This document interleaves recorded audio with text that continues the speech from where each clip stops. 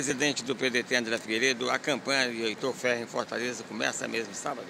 Começa, começa sábado, já temos uma série de programações, o Heitor deve começar indo a alguns postos de saúde, fazendo algumas visitas e conhecendo, evidentemente, conhecendo não, mais uma vez reafirmando seu compromisso com a transformação em algumas áreas da cidade, notadamente a Orla Marítima. Saúde vai ser um dos pilares da campanha dele? É, saúde, ele é médico, né, um médico que exerce a profissão e que conhece muito bem as mazelas que infelizmente hoje o nosso sistema de saúde ainda tem, portanto é uma das prioridades, apesar do que todos os outros candidatos estão dizendo a mesma coisa.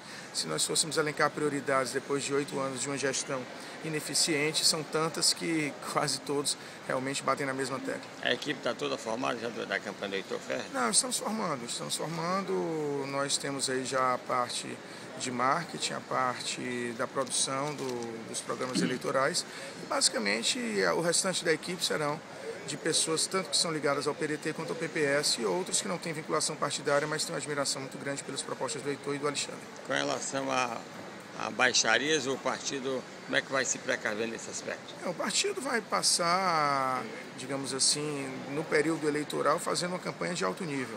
Né? Nós queremos, evidentemente, é, focar nos problemas que Fortaleza tem, mas apontando soluções. Não vamos a... Os problemas todos nós sabemos que temos, não adianta ficar batendo nessa tecla. Agora, a gente precisa ser extremamente ori... é, habilidoso para sabermos que realmente aonde vamos atacar primeiramente, sabemos que os recursos às vezes são escassos, mas que nós temos caminhos para buscarmos e com certeza fazermos Fortaleza sair desse marasmo em pouco tempo.